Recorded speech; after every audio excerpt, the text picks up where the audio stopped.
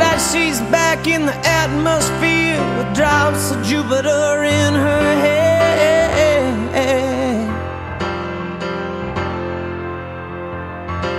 She acts like summer and walks like rain, reminds me that there's a time to change.